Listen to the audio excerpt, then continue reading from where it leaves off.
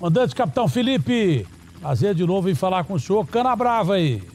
É isso aí, Datena. Boa tarde. Sim, ainda mais quando a gente conversa a respeito de ocorrências positivas, né, legais, interessantes. O pessoal do 6 Batalhão da Polícia Militar, realmente, como o meu xará, né, o Felipe Garrafa falou, é, conseguiu prender né, criminosos, cinco criminosos envolvidos nessa questão de roubo de veículos, né? Inclusive um deles era procurado, é, estavam nesse desmanche de veículos de alto padrão aí na área São Bernardo do Campo. Uma, uma operação que teve início com a detecção dessa de movimentação de veículos pelo, por meio do projeto Radar.